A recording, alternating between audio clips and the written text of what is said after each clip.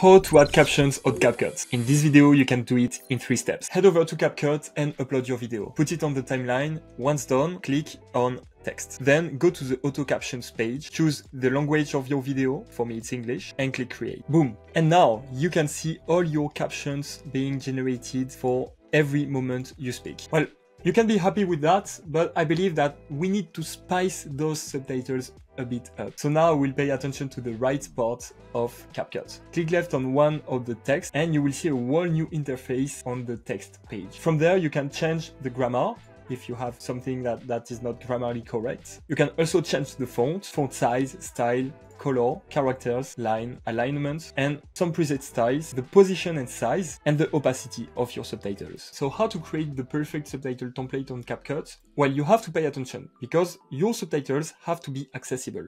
This means that when you go on the preset style, you won't choose this template or even this one because based on the background color, you can see I have a red shirt, it doesn't fit. Like you, you can't put your, your subtitles in red when you have a, a, a red background. Same for here, not really visible. And also you want to pay attention to your brand color. So to make them fully accessible, what I do generally is that I take this preset style with a white background at the end. Also, I can choose this one as well, or even this one. Then I will adjust a bit the size because I want it to be really visible. And I will find another font, which is the steady one. Why? Because I like uppercase letters. That's why I use this font because it automatically puts the text in uppercase. So here's how it looks like. This is what LinkedIn could look like in a few months being able to scroll video down like you do on TikTok, Instagram or YouTube. Amazing! Now we're ready to export our subtitles. But you see, it's easy to generate them, but at the same time you don't have a lot of customizations that are accessible for our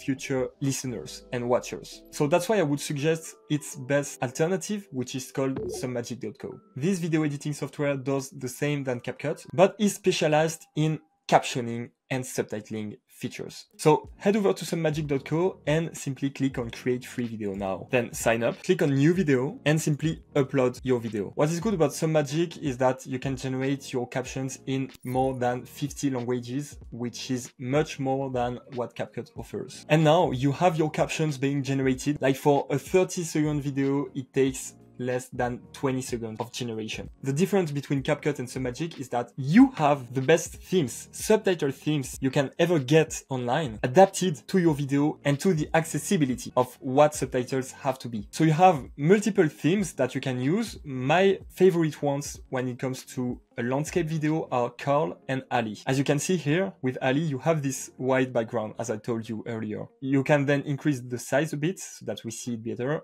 adjust the position and let the magic happen. This is what LinkedIn could look like in a few months being able to scroll video down like you do on TikTok, Instagram or YouTube. Let's try with other subtitle templates. Instagram or YouTube. Is it good? Is it bad? Well, I don't know. I'm not the expert on that. But what I know for sure is that it's a huge opportunity for you. What is great about Submagic also is the customization, as I told you. You can edit the theme, change the color, change the stroke, the position, display words, animation. So let's do something quickly to change a bit uh, the color and add more colorful subtitles.